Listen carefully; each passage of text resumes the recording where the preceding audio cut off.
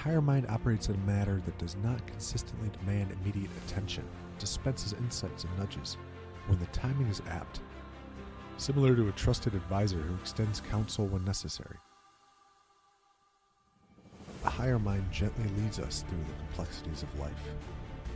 To reap the benefits of this guidance, we must cultivate the confidence to heed our inner intuition and permit it to shape our decisions, even when the path seems uncertain. In the grand symphony of consciousness, achieving a harmonious equilibrium between the roles of the practical mind and the higher mind emerge as the keys to navigating life with lucidity and contentment. It is akin to acknowledging that both players in an orchestra, while distinguished in their roles, complement each other to create a harmonious melody.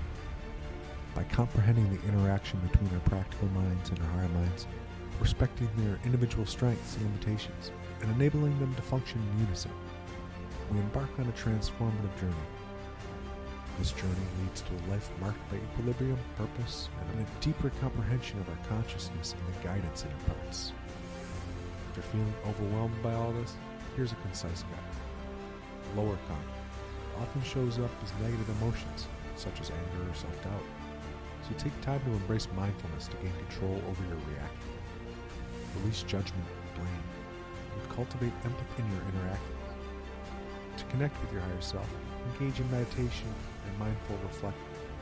Trust your intuition and gut feeling, which often lead to higher confidence.